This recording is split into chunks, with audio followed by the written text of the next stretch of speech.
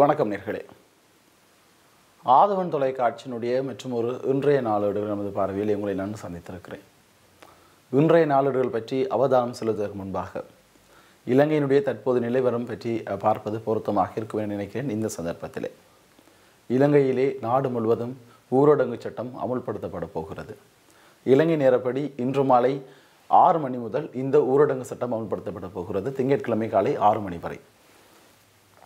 சீனாவில் பரவ ஆரம்பித்த வைரஸினுடைய தாக்கம் கொரோனா வைரஸினுடைய தாக்கம் இத்தாலியை அடுத்து ஐரோப்பிய நாடுகளாக இருக்கட்டும் சர்வதேசமாக இருக்கட்டும் வேகமாக பரவி கொண்டிருக்கிறது. இந்த பின்னணியிலே நாளுக்கு நாள் இலங்கையிலும் இந்த கொரோனாவினாலே பாதிக்கப்பட்டவர்களுடைய எண்ணிக்கையிலே அதிகரிப்பு ஏற்பட்டிருக்கிறதை அவதானிக்க முடிகிறது. நேற்று இதுவரையில் கிடைத்த தகவல்படி அறுபது பேர் பாதிக்கப்பட்டிருக்கிறார்கள். நேற்று இரு நேற்று இரவு ஒருவர் ஒருவர் அடையாளம் காணப்பட்டார். வத்தலை பகுதியில் வைத்து அவர் அடையாளம் காணப்பட்டார். அதனைத் தொடர்ந்து வத்தலையிலே ஊரடங்கு சட்டம் அமல்படுத்தப்பட்டது. தற்பொழுது தளர்த்தப்பட்டிருக்கிறது. அந்த சந்த அதாவது இந்த கொரோனாவினாலே பாதிக்கப்பட்ட வெளிநாட்டிலிருந்து தனிமைப்படுத்தப்படுவதற்கு உட்படுத்தாமல் தப்பியிருந்த நிலையிலே அவர் போலீஸாரால் கைது செய்யப்பட்டு தனிமைப்படுத்தப்பட்டார்.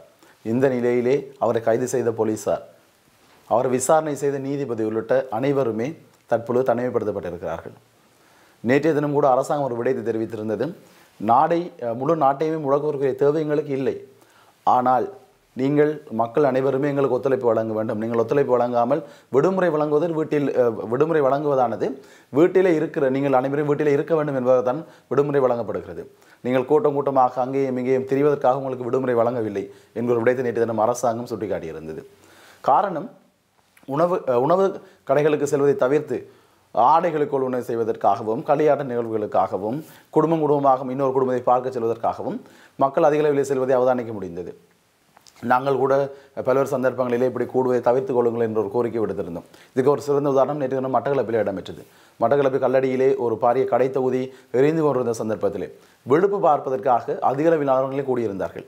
அந்த சந்தர்ப்பத்திலே ஒரு கொரோனா தொற்றால் பாதிக்கப்பட்ட ஒருவர் அங்கே இருந்திருப்பாராக இருந்தால் அந்த பகுதியில் கூடியிருந்த அனைவருமே தற்போது தனிமைப்படுத்தப்பட வேண்டியவர்களாக காணப்படுகிறார்கள்.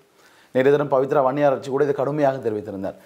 எங்களை நீங்கள் நாட்டையும் முழுமையாக முடக்குவதற்கு எங்களை நீங்கள் தள்ளிவிடாதீர்கள். நாங்கள் அப்படி செய்வதற்கு தீர்மானிக்கவில்லை. தள்ளிவிடாதீர்கள் என்ற ஒரு விடயத்தை தெரிவித்திருந்தார். அதே போன்று தொடர்ச்சியாக வெளிநாட்டிலிருந்து இலங்கைக்கு வந்தவர்கள் தப்பி இருக்கிறார்கள். தப்பி தனிமைப்படுத்தப்படுவதற்கு தப்பி வீடுகளிலே வாழ்ந்து கொண்டிருக்கிறார்கள். வீடுகளிலே ஒரு தங்களை தனிமைப்படுத்திக் கொண்டால் பரவாயில்லை. மக்களோடு மக்களாக வாழ்ந்து கொண்டிருக்கிறார்கள் என்ற விடயம் தெரிவிக்கப்பட்டது. இந்த பின்னணியிலே தான் இலங்கை நேரப்படி மாலை ஆறு மணி முதல் திங்கட்கிழமை காலை ஆறு மணி வரை ஊரடங்கு சட்டம் அமல்படுத்தப்பட்டிருக்கிறது. இந்த ஊரடங்கு சட்டம் அமல்படுத்தப்பட்டிருக்கிற காலப்பகுதியிலே அதனை மீறுகிறவர்களுக்கு எதிராக சட்டம் கடுமையாக நடைமுறைப்படுத்தப்படும் என்கிற எச்சரிக்கை போலீசாரினால் விடுக்கப்பட்டிருக்கிறது. ஒரு பொறுப்பு வாய்ந்த ஊடகமாக நாங்களிடம் நாங்களும் உங்களிடம் வினயமாக வேண்டி கேட்டுக்கொள்வது. தயவு செய்து வெளியிலே திரிவதை தவிர்த்து கொள்ளுங்கள்.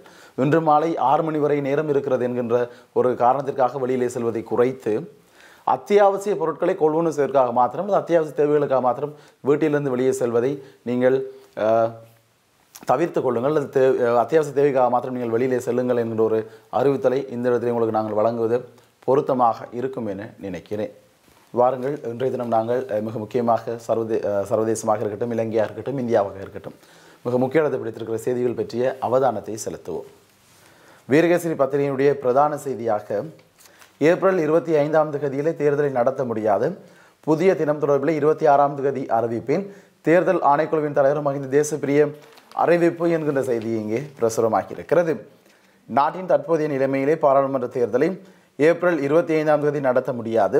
தேர்தல் தொகுதி குறித்து ஆராய்ந்து எதிர்வரும் இருபத்தி ஆறாம் தேதி அது தொடர்பான முடிவினை அறிவிப்பேன் என்கின்ற விடயத்தை நேற்றைய தினம் மகிந்த தேசப்பிரிய தெரிவித்திருந்தார். தாக்கல் செய்யப்பட்ட வேட்புமனுக்கள் தொடர்பான தீர்மானம் மற்றும் வேட்பாளரின் விருப்பு இலக்கம் என்பன தொடர்பான அறிவிப்பு எதிர்வரும் திங்கட்கிழமை வெளியிடப்படும் எனவும் அவர் தெரிவித்திருக்கிறார். இந்த செய்தி தொடர்பிலே நாங்கள் அதிகளவிலே அவதானம் செலுத்துவோமாக இருந்தால் பாராளுமன்ற தேர்தலை குறிப்பிட்ட தொகுதியிலே நடத்த முடியாமல் இருப்பது தொடர்பாக தேர்தல்கள் ஆணைக்குழுவில் எடுக்கப்பட்ட தீர்மானத்தை அறிவிக்கும் செய்தியாளர் சந்திப்பு நேற்று தேர்தல்கள் செயலகத்தில் இடம்பெற்றது. இதிலே கலந்து கொண்டு கருத்து தெரிவிக்கையிலேயே தேர்தல்கள் ஆணைக்குழுவினுடைய தலைவர் மகிந்த தேசப்பிரிய இந்த விடயத்தை தெரிவித்திருக்கிறார்.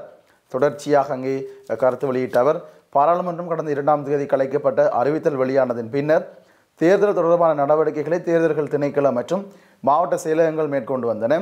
அதன் பிரகாரம் கடந்த பனிரெண்டாம் தேதி முதல் பத்தொன்பதாம் தேதி நண்பகல் வரை வேட்புமனுக்கள் கோரப்பட்டிருந்தன. நண்பகல் பன்னிரெண்டு மணியிலிருந்து பிற்பகல் ஒன்று முப்பது வரை வேட்புமனுக்கள் தொடர்பான முறைப்பாடுகள் கோரப்பட்டிருந்தன.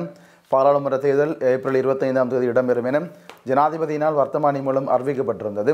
அதன் பிரகாரம் எதிர்வரும் திங்கட்கிழமைக்குள் தாக்கல் செய்யப்பட்ட வேட்புமனுக்களிலே நிராகரிக்கப்பட்டவை அங்கீகரிக்கப்பட்டவை வேட்பாளர்களின் இலக்கம் வாக்கள் நிலையங்கள் என்பன போன்ற போன்ற விடயங்கள் அடங்கிய அறிவிப்பும் வெளியிடப்படும் என அவர் தெரிவித்திருக்கிறார். அத்துடன் தேர்தல் சட்டத்தின் பிரகாரம் குறிப்பிட்ட அறிவிப்புகள் வாக்களிப்பு இடம்பெறும் திகதி வர்த்தமானி மூலம் அறிவிக்க வேண்டும். அவ்வாறு குறிப்பிட்ட திகதியில் ஏதாவது ஒரு பிரதேசத்திலே வாக்களிப்பு நடத்த முடியாத விசேட காரணமாக இருந்தால் அந்த பிரதேசத்திற்கான வாக்களிப்பு திகதி வர்த்தமானி அறிவிப்பு வெளிவந்த தினத்திலிருந்து பதினான்கு நாட்களுக்கு அப்பால் அது ஏதாவது ஒரு தினத்திற்கு தள்ளிப்போடும் அதிகாரம் ஆணைக்குழுவிற்கு இருக்கிறது.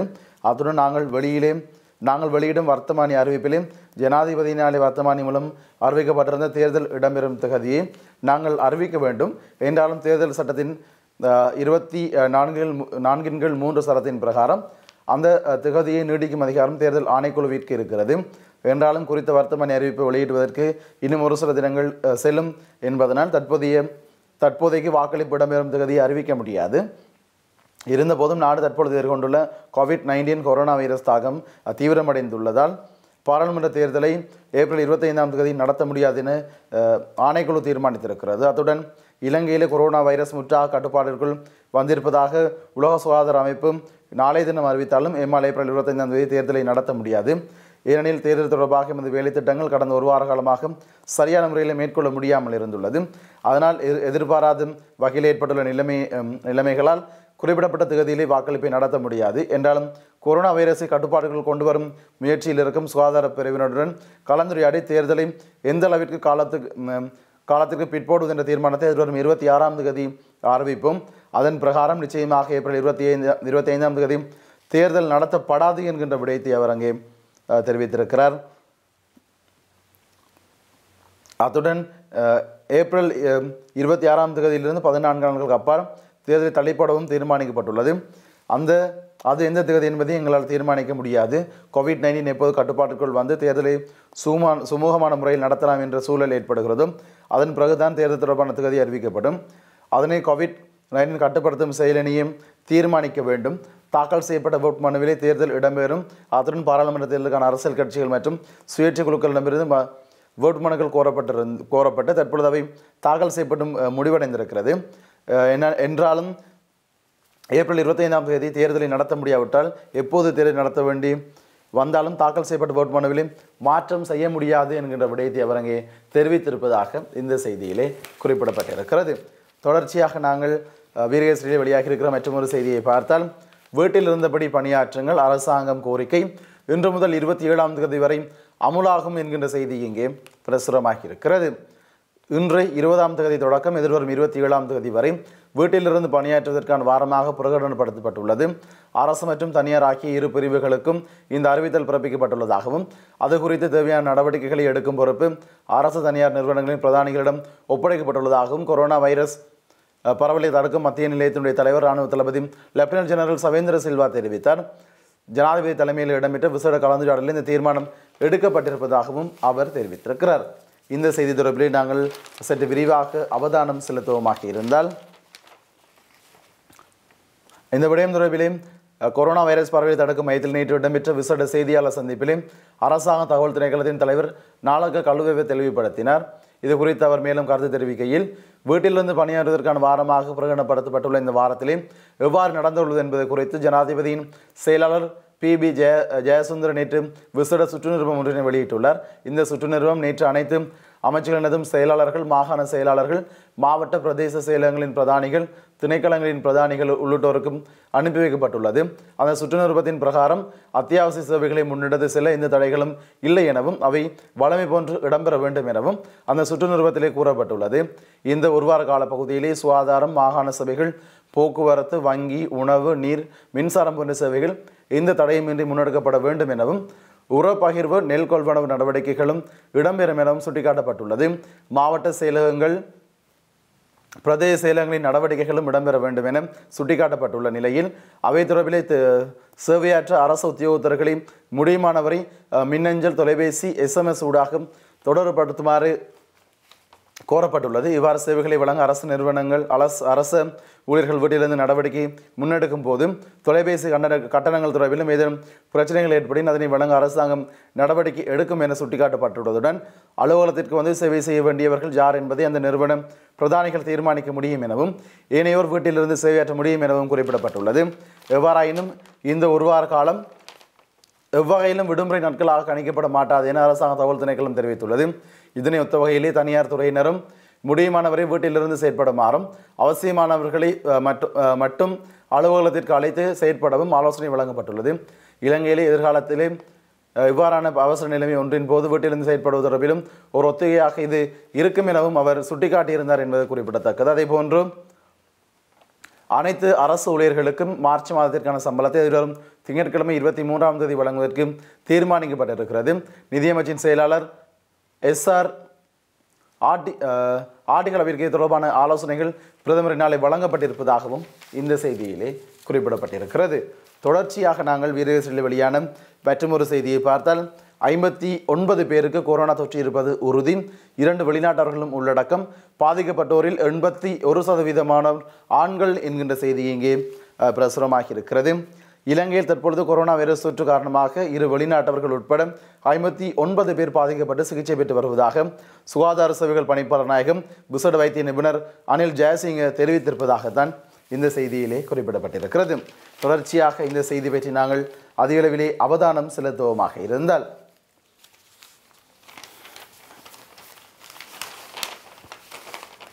கொரோனா வைரஸ் தொற்று பரவலை கட்- தடுப்பதற்கான தேசிய நடவடிக்கை மையத்தில் நேற்று இடம்பெற்ற விசேட ஊடகவியல் சந்திப்பின் போது அவர் இதனை தெரிவித்தார்.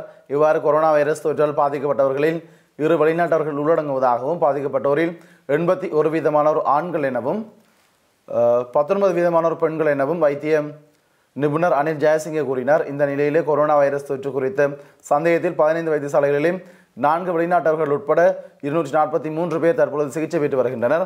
அதன்படி இலங்கையிலே இதுவரை கொரோனா தொற்றிற்குள்ளான நிலையிலும் கண்டுபிடிக்கும் நோயாளர்கள் அறுபது பேர் ஆவர். அதில் கடந்த ஜனவரி மாதம் கண்டுபிடிக்கப்பட்ட சீன பெண் சுகமடைந்து நாடு திரும்பிய நிலையிலே தற்பொழுது ஒரு இந்தியர் ஒரு பிரான்ஸ் நாட்டவர் உள்ள உள்ளடங்களாக ஐம்பத்தி ஒன்பது பேர் கொரோனா தொற்றால் பாதிக்கப்பட்டு சிகிச்சை பெற்று வருவதாக அவர் சுட்டிக்காட்டியிருக்கிறார். இவ்வாறு சிகிச்சை பெறும் ஐம்பத்தி ஒன்பது பேரிலே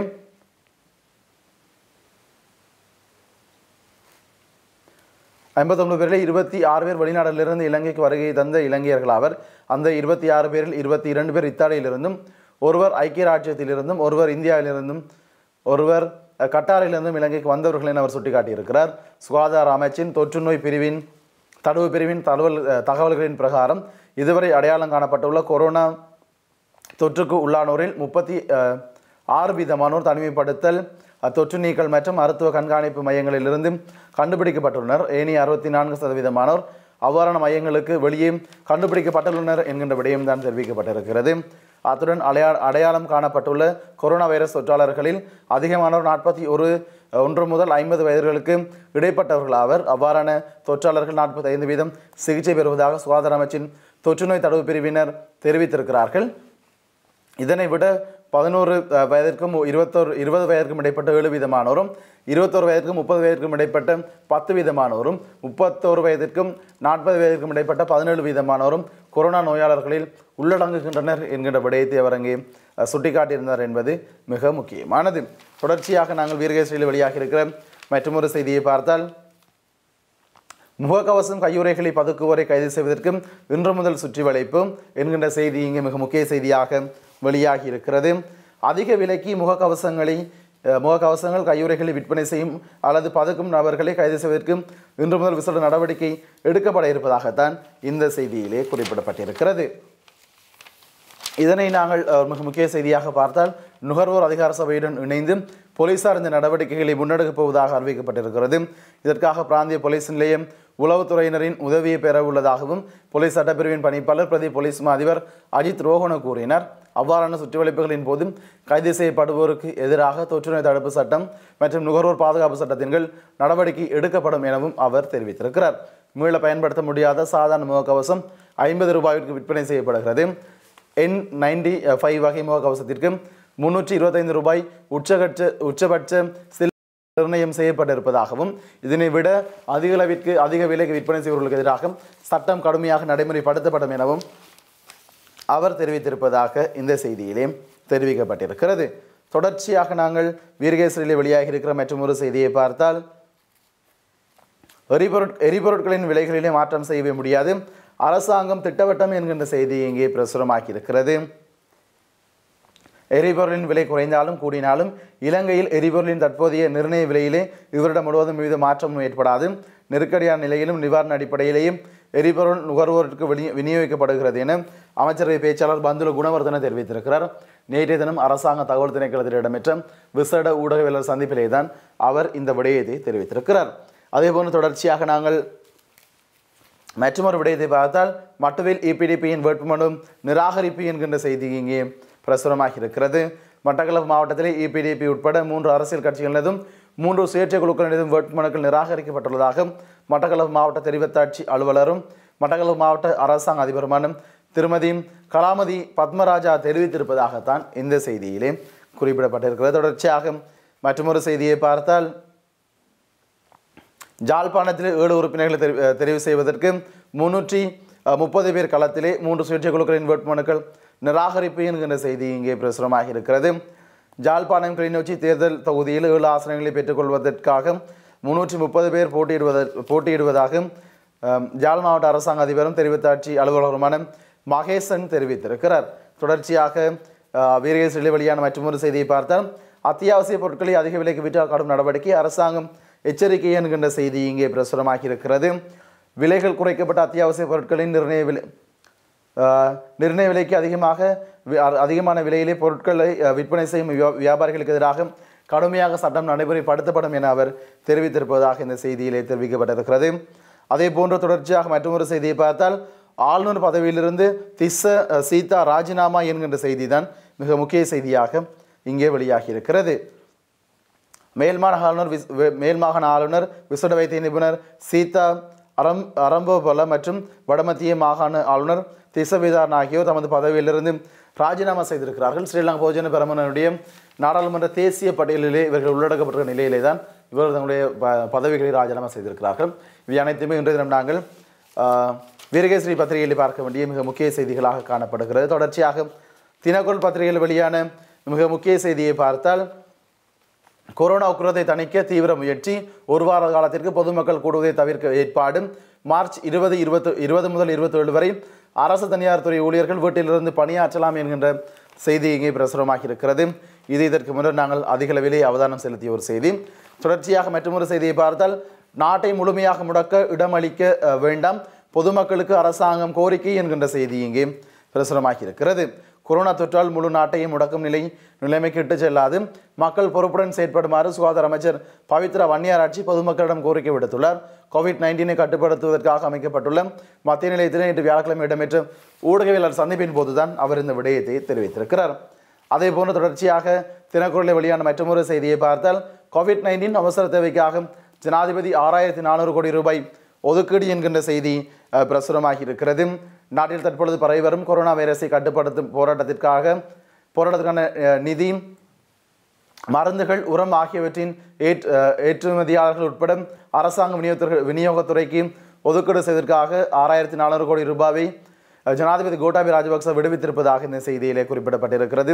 சிரேஷ்ட பிரஜைகள் வட்டி வட்டி திட்டங்கள் உட்பட வட்டியை வழங்குவதற்கான நிலுவையாக நான்காயிரத்தி அறுநூறு கோடி ரூபாயை வங்கிகள் பெற்றுக்கொள்ளும் எனவும் இந்த செய்தியிலே குறிப்பிடப்பட்டிருக்கிறது.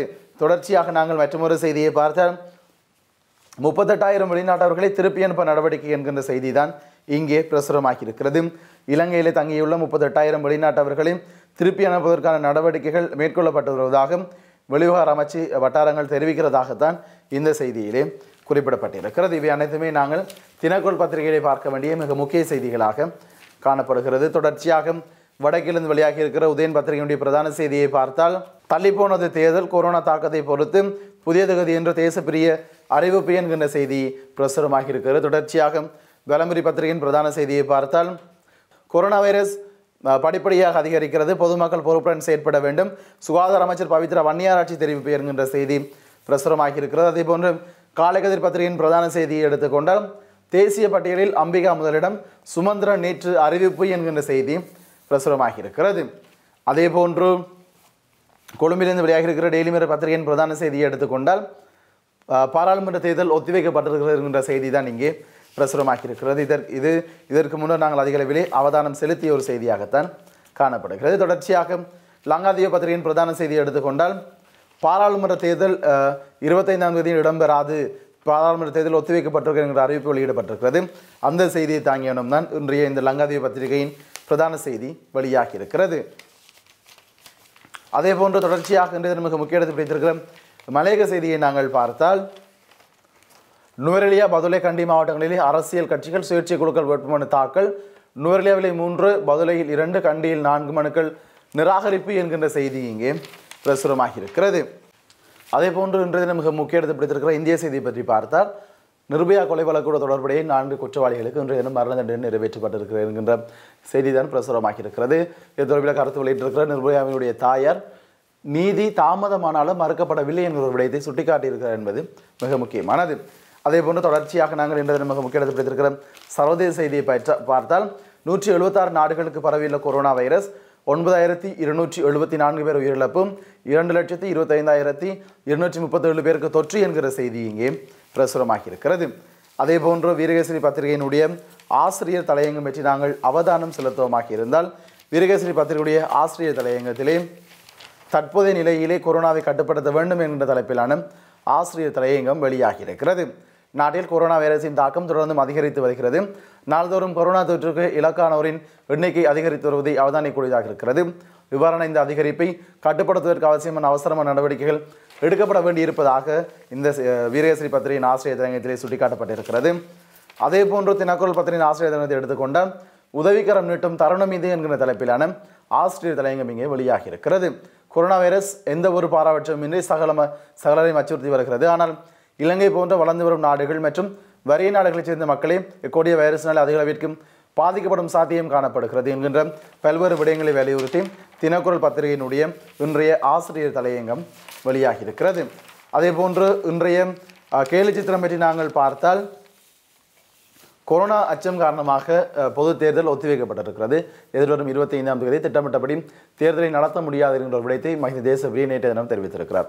இந்த நிலையிலே தான் அது தொடர்பிலான செய்தியை தாங்கி வண்ணம் இன்றைய இந்த செய்தி இன்றைய இந்த கேள்வி சித்திரம் வெளியாகி இருக்கிறது இவை அனைத்துமே இன்றைய நாங்கள் பார்க்க வேண்டிய மிக முக்கிய செய்திகளாக காணப்படுகிறது. அதே போன்று தொடர்ச்சியாக கொரோனா பற்றிய பிந்துகிட்ட செய்திகளை அறிந்து கொள்ள W W W dot Athavan news dot com என்ற இணையதளத்தில் இருந்தீர்கள். அதே போன்று தொடர்ச்சியாக ஆதவன் தொலைக்காட்சி நிகழ்ச்சியில் இருந்திருங்கள் நன்றி வணக்கம்.